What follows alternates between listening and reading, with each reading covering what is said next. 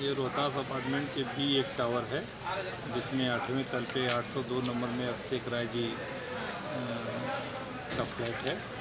उसमें उस समय थे नहीं वो दूसरे टावर में उनके फादर रहते हैं वहाँ पे बैठे हुए थे। अब किस कारणों से वहाँ पे आग लगी उसकी सूचना उन्होंने दिया फायर को तत्काल मौके पे फायर और पुलिस सिविल पुलिस पहुँची थी।